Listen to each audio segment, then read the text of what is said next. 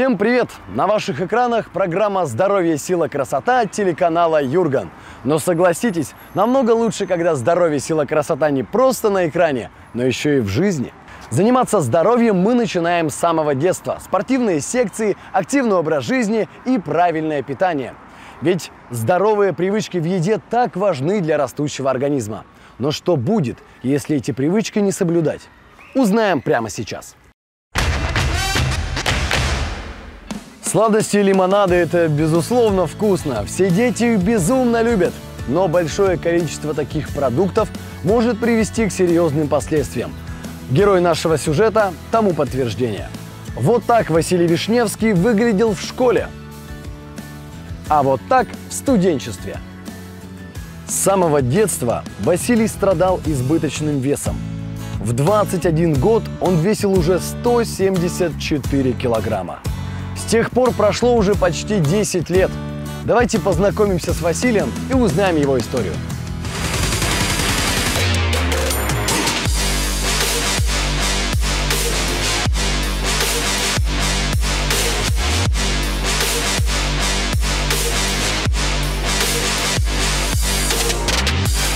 Василий, тебя не узнать, ты сильно изменился со студенческих времен, тебе есть масса вопросов. Привет. Здравствуйте. А, скажи, пожалуйста, как ты располнел и была это вредная пища или еще какие-то факторы? А, Как известно, культура питания вся происходит от родителей. В моей семье, к сожалению, ее не было. А, Было очень много еды, преимущественно высококалорийная. Это в основном сладости, выпечка, лимонады, соки. И так э, я ребенок, у меня все это стоит перед глазами. Я постоянно а, потреблял такое питание, но не заканчивалось. И происходил накопительный процесс. И постепенно все толстел, толстел, толстел с каждым годом. А активности как таковой не было. И получается, что я больше потребляю энергии, чем тратил, и произошел такой большой набор веса. В какой момент ты решил поменять себя, изменить? А, Это произошло на третьем курсе университета. Каким-то первым толчком послужил а, результат моего одногруппника, который заметно похудел. Я как-то даже на уровне подсознания заинтересовался, как именно он достиг такого результата.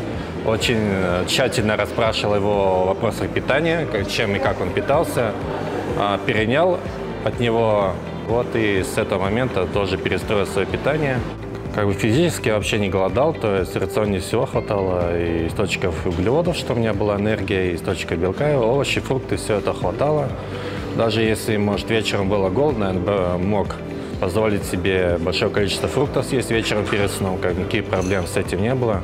Поначалу два месяца было только питание, потом я все-таки решил пойти в зал в первый раз, заинтересовался силовыми видами спорта и также бодибилдингом, и мне также стало интересно строить свое тело дальше. Василий, вопрос тебе как тренеру. Что нужно человеку, чтобы прийти к каким-то конкретным результатам? А, Самое первое, что нужно человеку, это иметь желание достичь результата. То есть он должен э, хотеть э, изменить свое тело, изменить себя и улучшить тем самым свое, свое качество жизни. То есть и также человек должен ясно видеть свою цель, то есть не просто похудеть, а похудеть на 5 килограмм, 10, 15. Конкретизировать, Да, да? конкретизировать свою цель, э, представлять ее четче и яснее для самого себя. Чем яснее цель, тем больше желания ее достичь. Существуют ли какие-то мифы о правильном питании?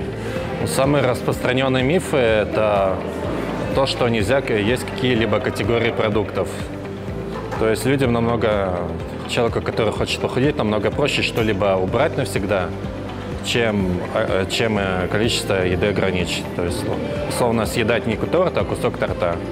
То есть ему про- э, многие ошибаются в том, что Нужно отказываться. Просто убирать сладкое, просто убирать жирное, тем самым э, давая себе лишний стресс, так как э, поговорка «запретный плод сладок».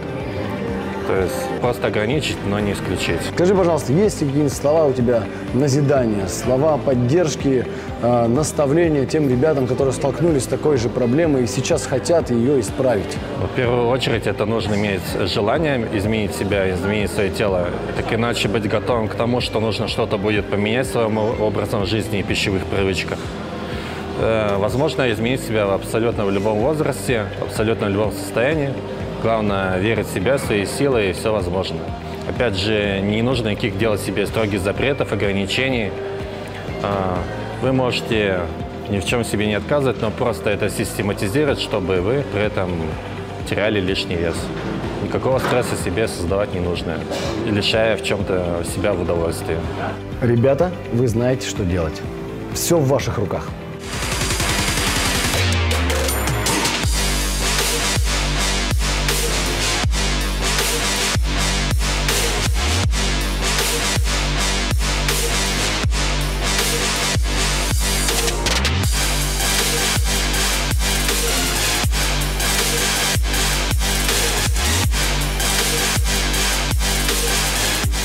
Василий, ты нереально крутой пример для всех нас. Но самое главное, ты живое доказательство того, что ни в коем случае, никогда и ни за что не стоит опускать руки. Спасибо тебе за это.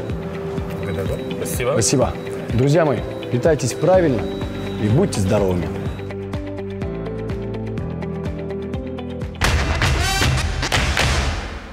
Безусловно, проблему лучше избежать, чем исправлять последствия. В Сыктывкаре для этого есть Центр здоровья по формированию здорового образа жизни у детей и подростков. Туда-то мы и направляемся.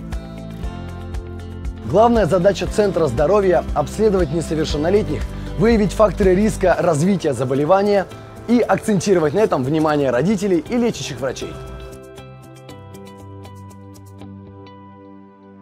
В Центре здоровья работают сразу несколько школ здоровья – школа основ здорового образа жизни, школа профилактики заболеваний костно-мышечной системы, школа избыточного веса и школа профилактики табакокурения.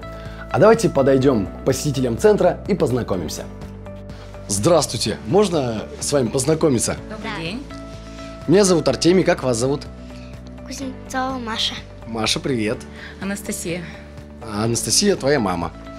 А, расскажите, пожалуйста, какие здоровые привычки прививаются у вас в семье? Я катаюсь на коньках, на лыжах зимой. А летом? Летом я катаюсь на велосипеде и на роликах. Ты считаешь, что это помогает твоему здоровью? Да.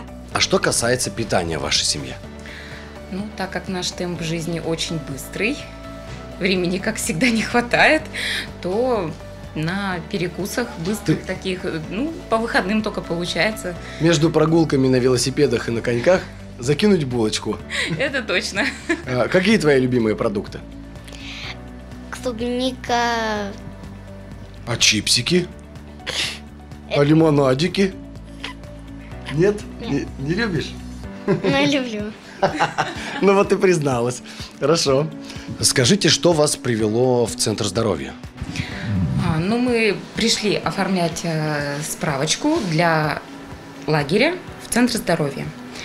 А, там будут у нас спортивные игры, также а, бассейн, всяко различные виды спорта. То есть на лето ты будешь в лагере спортивном?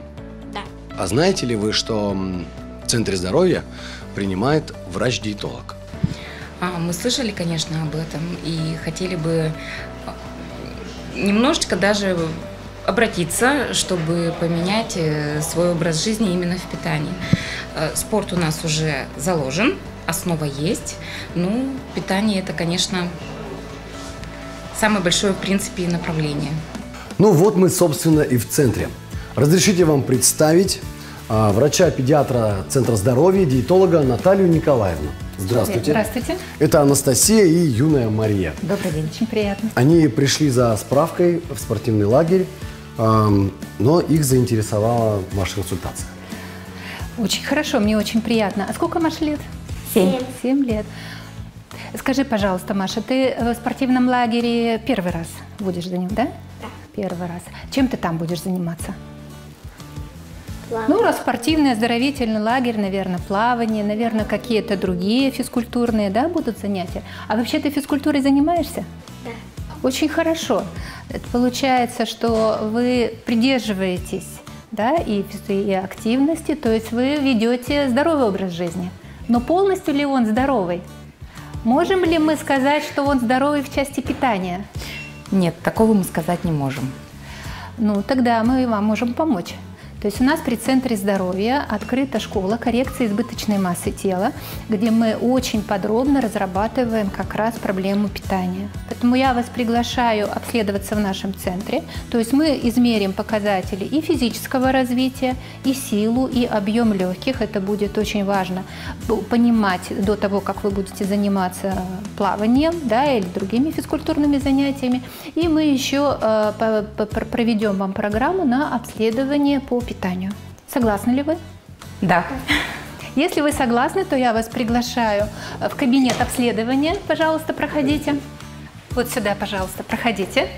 Здесь у нас проходит комплексное обследование. Обследование у нас проводит медсестра Тамара Ивановна. Пожалуйста, познакомьтесь.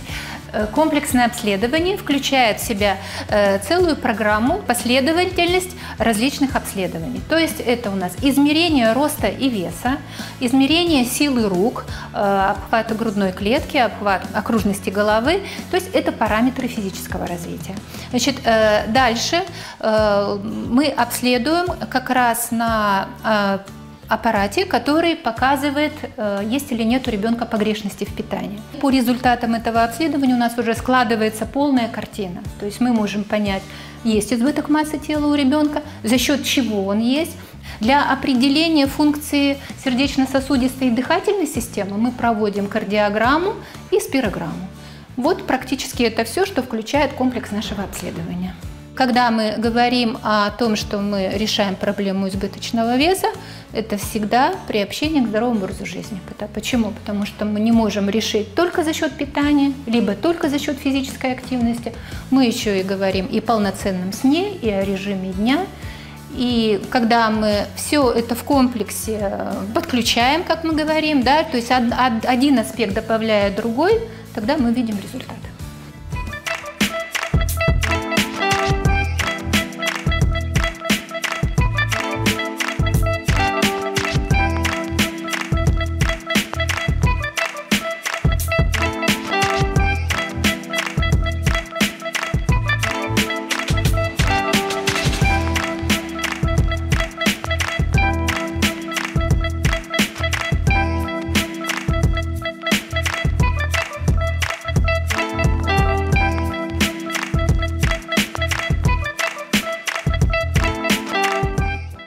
Провели комплексное обследование, э, выявили, что у Маши есть избыток массы тела.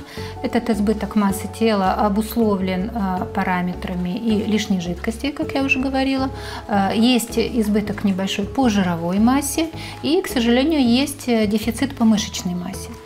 То есть я могу сделать вывод, что погрешности в питании все-таки имеются. Если мы снижаем вес, да, вне зависимости от того, чем этот вес обусловлен, мы должны позаботиться о том, чтобы обязательно была физическая активность. Исходя из того, что мы вот, э, да, посмотрели Машу, обследовали, э, самым э, эффективным и безопасным видом физической нагрузки будет плавание.